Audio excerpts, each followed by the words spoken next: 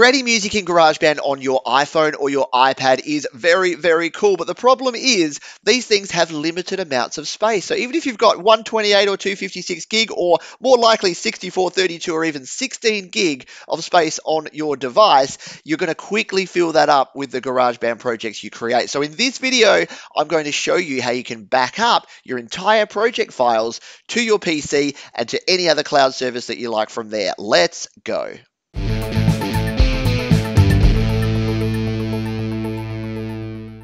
Hi, my name is Pete. This is Studio Live today where I help you create, record, and release your best music. And in this video, we're going to be helping you organize those creative music projects by showing you how we can actually transfer not only our project files, but even our finished WAV files over to our PC. We're going to do that using iTunes file sharing, and it's actually easier than ever to do that in iOS 11. So let's jump down into the phone now, and I'll show you how we set up at that end, and then we'll jump back here into the PC and I'll show you how we can do these transfers. Let's go. Okay, so here we are in GarageBand on my iPhone. Now, what a lot of folks do here is under locations, they go to iCloud Drive and then they come down to GarageBand for iOS, and this is where they create and store all their projects. And there's a good reason for that because this will back up your projects to iCloud automatically, which means that you can see here that some of these have these download arrows, which mean that they're on the cloud but they're not actually stored on this phone. And I find that a little bit frustrating because sometimes I'll create a project and then it'll offload it to create some space, and then I'll have to re download it and I'll be out on a mobile connection and I won't want to do that. So I use this for some of these, as you can see here, but what I've been doing more often, and yes, you have to trust yourself to do backups like I'm about to show you, is use the on my iPhone. And you can use a combination of these, which I'll talk about in a moment. So on my iPhone, if we go into GarageBand here, what this is doing is it's storing these 100% on my phone. So this is like the old school way back in iOS 10 and earlier, where you would have to store it here and then you would have to manually share it over to iCloud Drive. So I tend to do a similar sort of thing now where I have my files stored here, and then if I do want to back them up or share them, I will copy them over to my on my to my iCloud Drive, and then I've got a copy that I know is going to be backed up. But if I'm working on a big project and I want to make sure it stays on my phone, like this file here, 2.27 gigabytes, my latest single here called Bully, I don't want that to have to be uploading and downloading constantly. So I'll have a backup version stored but I also want to have just the version here on my iPhone. Now, the reason I'm showing you the on my iPhone GarageBand location is that this is the location that will share to iTunes. So, what you used to have to do is come into your project, you'd select it like this, you would share, you would go project, and then you would have to actually manually share this to iTunes file sharing, and then it would become available in your share folder to be able to be imported into your computer and then copied across to a folder on your PC. You do not have to do that anymore all you need to do is actually have a file stored in here and it will be in your iTunes file sharing. So all of these projects that we see here and even these WAV files and any other file that I have stored in here will, uh, there's a picture file down there. Anything that I have stored here goes into that file sharing. And, and the reason I have WAV files here is I actually use this for my exports of my projects as well. So for this song here, Bully, uh, I, you can see here, though it was called Baseball back then, that I've got the master of that here, this 82.7 meg master file, a WAV file stored in there. So let's, I'll show you quickly how I do that now, and then I promise we'll jump back to the PC and I'll show you how to do things at that end but we'll use this as my actual example. So if we tap on select and we tap on bully master here, I'm just going to remaster, for want of a better word, by sharing, sharing the song, sharing an uncompressed WAV file. We'll go share, and then we'll go save to file. Now we could go to iTunes here, but for this purpose, we're going to save to files because this is going to put it into our, we're going to choose to put it onto our on my iPhone section under GarageBand so you can see how just doing this is going to allow you to sync up and copy over both the project file and the final WAV file. So we have it here. It's uh, gone into my iCloud drive where I stored it before. But if we come down to on my iPhone and go to GarageBand and tip, tap on Add, it is going to now add that as a WAV file here. If we come down, we will have Bully Master up the top, sorry, up the top there, there is that Bully master WAV file. So what I'm going to do now is I'm going to go over to the PC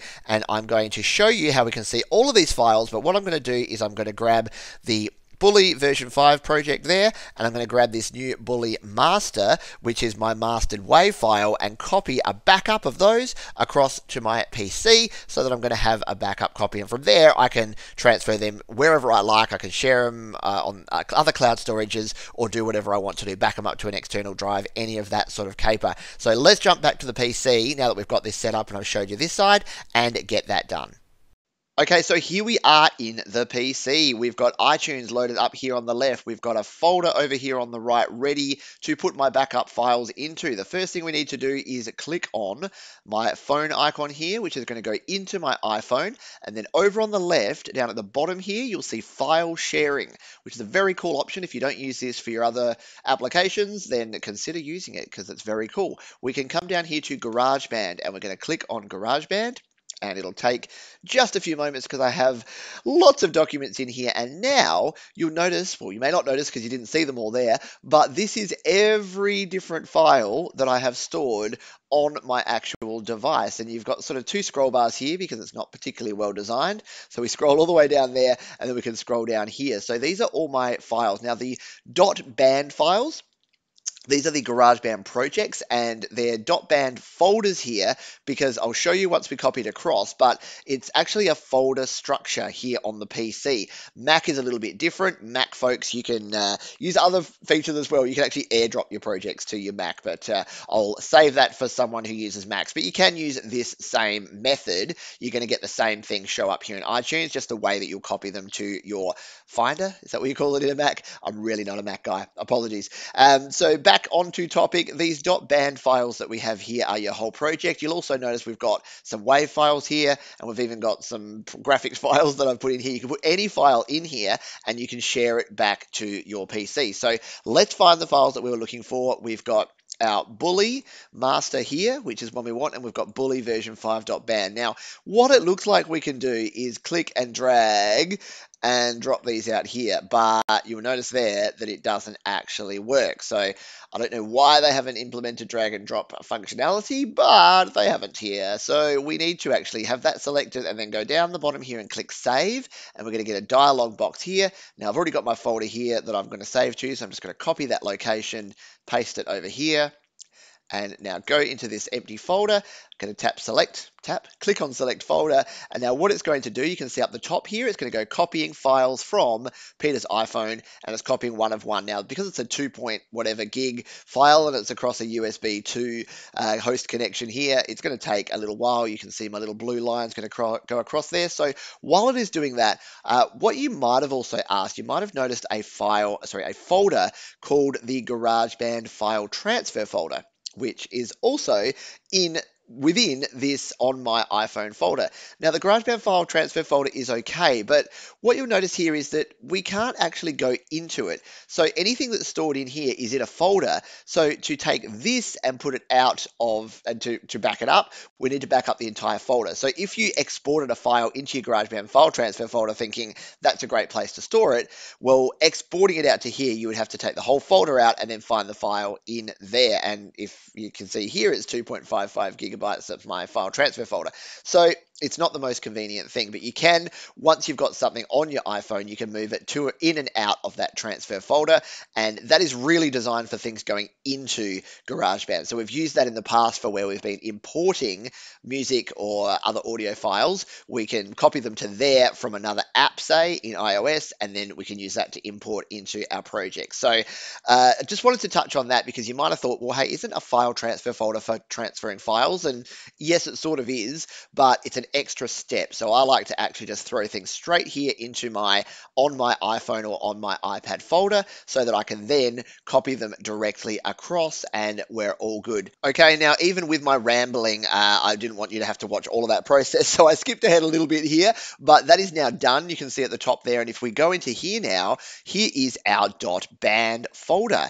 And yes, it's a folder. We can go in here and you can see behind the scenes of how how all of this works. There's caches, there's freeze files, there's contents, there's all sorts of things in here. The media is probably the most interesting folder because what the media will have is all of the actual individual wave files of your mix. So you've got our classic stack here, that's our bass track. We've got all of my vocal tracks in here, all the different audio recorded tracks, and we've got my guitar tracks in here as well. There's images, which has nothing in it. There's recording, which has nothing in it. There's sampler, which has my sampler file. So it really depends on what you've actually put in your track as to what will show up here. And, and then there's things like the output folder, which is all of the other little WAV files and things that, oh, that's interesting. It's actually got the outputted WAV files of the project. See, there's something I just learned.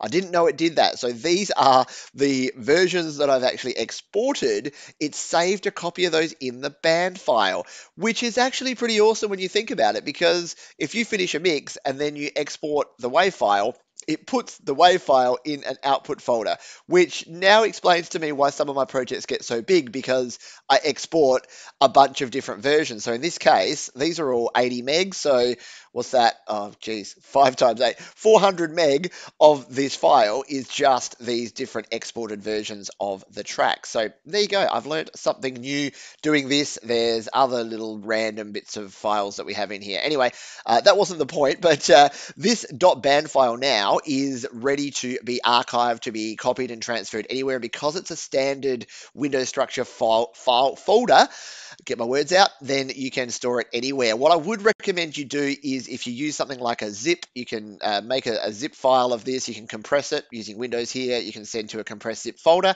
That way it'll just be one file. So if you're sharing this, say, on Dropbox and you want to send it to someone else, I would zip it up just because those sort of things handle a single file a lot better than they handle a folder full of multiple files. So just an additional tip there for you if you were planning to share this uh, with someone else or to back it up to Dropbox, OneDrive, Google Drive, any of those. So pretty cool there. Now, the other thing I was going to show here, we'll come back out to here, is that, and now that I know that it's actually, uh, it's kept all these WAV files as part of there, but what I did is I've got this separate master. So when I did the mastering for this song, I had a separate mastering project project, and then we've got a separate master file, which is actually this one here. So this is the final master version that I had, and to do this, we can do the exact same thing. Uh, in fact, I'll show you another quick trick here. You're probably already ahead of me with this, but say we wanted both of these files, we can actually control click. We can also shift click to get a whole section, and we can also control A if you want everything. So say you wanted to just back up everything, all you need to do is come in here. Let's not rename all those files. Come in here. I'm just going to click out of there. I'll see now it's now it's making me try to rename them all.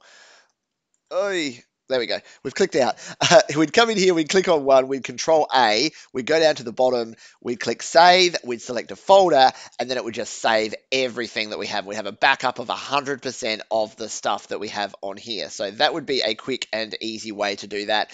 The other thing we can do is use control clicking. So let's just do these. So we wanted these two versions. We'll control click, and then we'll come down the bottom here, and hit save and we're in our right project here. We'll select that folder. It's going to save those out. It's going to be a lot quicker this time because it's just those two WAV files. Well, a little bit quicker. and then it's going to transfer those across and they will pop up over here in my bully folder. So what I can now be comfortable is that I've got my original .band GarageBand project folder. I've got my master WAV file here. If I back this up, I'm safe. And yes, you're probably ahead of me on this, but to bring something like this back into here, we use the reverse. I've chosen a really bad one here actually because it's a really giant one. So let's just do something else. Let's do something that I know is a very small file. So let's just use uh, this comeback. So I'm just going to do this and show you how this works. So we would come down here. Let's just say that we've saved this off and we'll put it in, yep, we'll select the music folder and we'll go select folder and it will copy that over to here. So now it's just here. Here's this comeback.band folder that's ready to go. Now let's just rename this so that we know that it's going to be something different. comeback.to, comeback2.band. And now you might be thinking that what we would do here logically is click on add file and then put this one in here. But because it's a folder, it will just go in and keep wanting you to open more folders. So it doesn't work. Ironically, what we have to do is drag and drop. Yeah, that's right. We can't drag and drop out, but we can drag and drop in. So we drag and drop that folder back into GarageBand. We come up here and we? We scroll right the way up and there we go. So we have our comeback.band and we have our comeback2.band. You can see there that the time and dates are the same and it's actually going to be the exact same project but all I've done is taken it out put it here and then taken it back in. So if you had a, a, project that you'd archived a year ago the same thing would apply. We would just grab it here drag it across drop it into GarageBand and we would be good to go. So there you go. That is how we can use the GarageBand iTunes file sharing to actually transfer folders or entire GarageBand projects from our phone to our computer, our PC here running Windows, and then from our Windows PC back onto our phone keeping all of our project information intact and keeping our ability to back up all of the settings and all the details in those projects. And there you go. We went a little bit more in depth, but I just wanted to make sure that you had all of the information that you need. And now you should be an absolute guru at transferring those GarageBand.band folders from your phone or your iPad to your Windows PC and then back again. As I mentioned, doing it via a Mac is pretty similar, although you can also airdrop. And using iCloud Drive, I've talked about that in the past, and there'll be links that you'll be able to check out down below about other ways to share. But I just wanted to do this as an update because the previous version I did has kind of been outdated. You don't have to do a lot of the steps, it's actually a lot simpler. And I wanted to show you how simple it can be to make sure that you keep your files backed up and you have those available. So thank you again for watching. If you've got comments, questions, or suggestions about this or anything else recording or music related, you can drop that in the comments below and I'll see you on the next video. So there you go, you've now got no excuse to lose any of those awesome projects. We've got two more videos linked down below there. You can also subscribe to the channel by clicking in the top right up there, or head on over to studiolivetoday.com for more audio goodness.